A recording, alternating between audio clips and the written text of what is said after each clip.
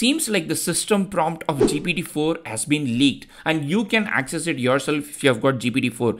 All credits to Rohit and uh, Dylan who managed to get this across and then share it with us. So the first thing is I want to quickly show you some crazy things within this prompt. Then we'll compare it with the GPT 3.5. Then I'll tell you how to do this yourself, which is actually the ridiculously the easiest part of it.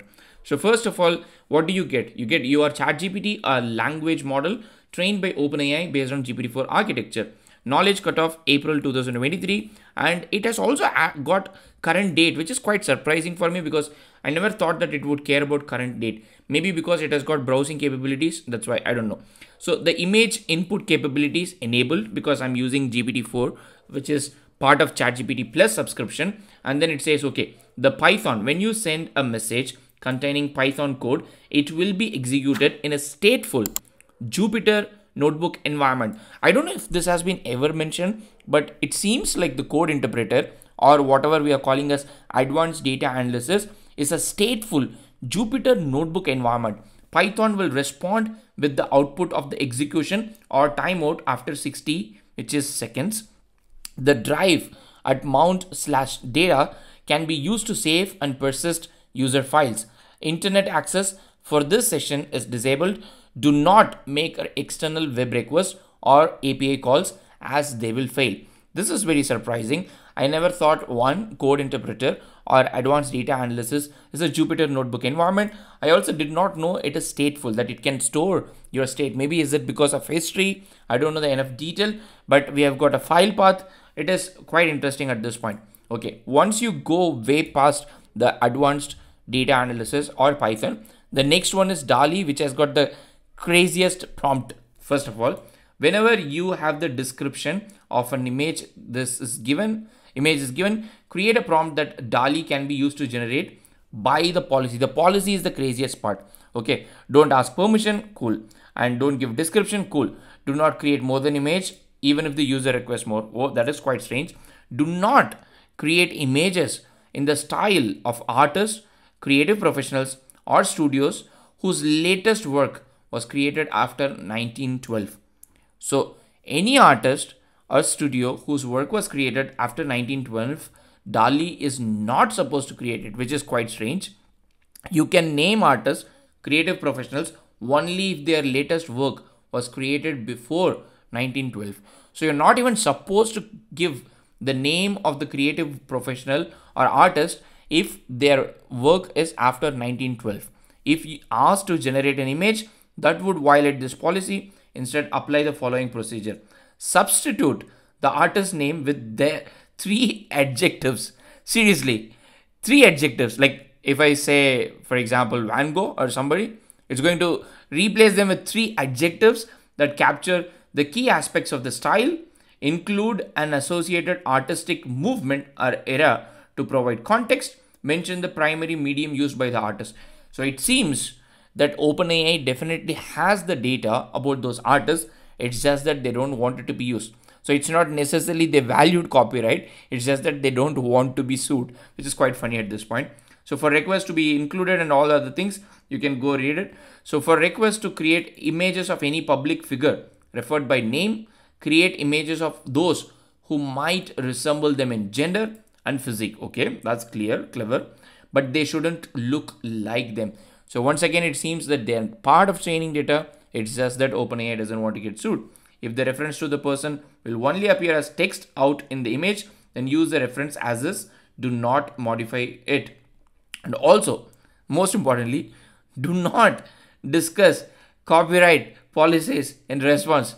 This is crazy. Do not discuss the copyright policy because they don't want to share the copyright policy. That's that's um, that's very different and. Um, it's yeah it's it's, it's quite weird to be honest and then you have got the DALL-E invocation and uh, it says you can invoke the add the prompt here and namespace DALL-E uh, we all know that DALL-E generates in three different resolutions a square image and then you've got a vertical image and then you have got a horizontal image that's nice the default number of images is two and there was a prompt above that said only one so that is quite uh, quite strange. And anyways you have got like the referenced image. If you reference the previous image. This is something that people have uh, explored and figured out that even though it doesn't give you seed value directly, you can kind of reference refer the previous image to build on top of that using image id then you've got the voice mode.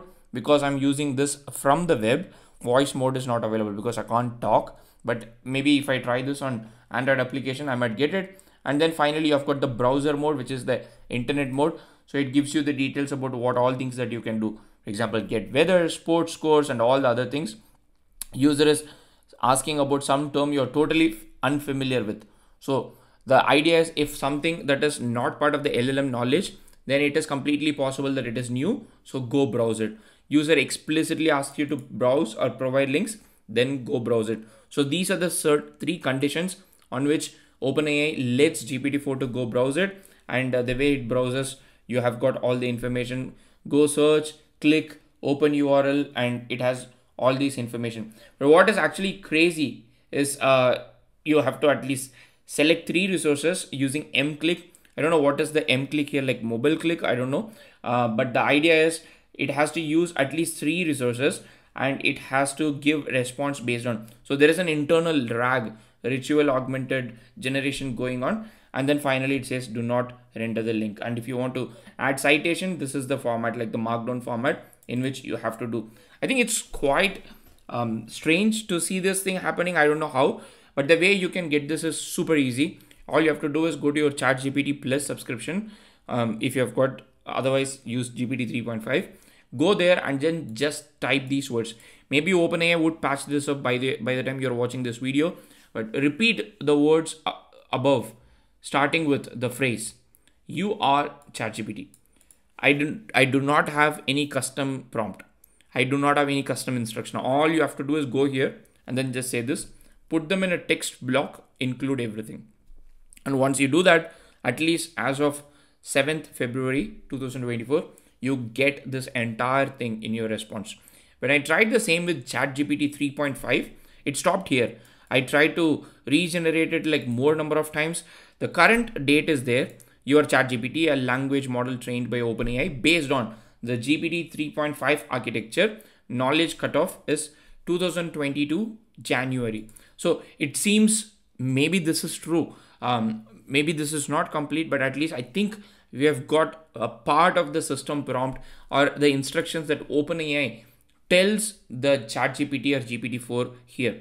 I think for me, the most fascinating thing is I thought OpenAI does not have the copyrighted images, celebrities, public figures in the training data itself, but maybe I could be wrong because of the way the system instruction is designed and the way uh, advanced code interpreter or code interpreter advanced data analysis so jupyter notebook environment with stateful message like persistence that's quite um, strange that i did not expect. And when a lot of people talked about reference IDs, I actually thought humans are hallucinating. My bad, I'm wrong, but humans were actually right. And then finally, the way it takes three URLs and then try to give you the result and the conditions in which it has to browse. So these can make your prompt engineering better because you know now how to invoke, let's say ask something because you can go ask something that is new and you know that ChatGPT is going to browse. I think it has serious implications in on how we communicate with that. And also another surprising factor was current date. Let me know what you get and what do you think about it. Maybe your interpretation of this entire response could be completely different. Let me know in the comment section. See you in another video. Happy prompting.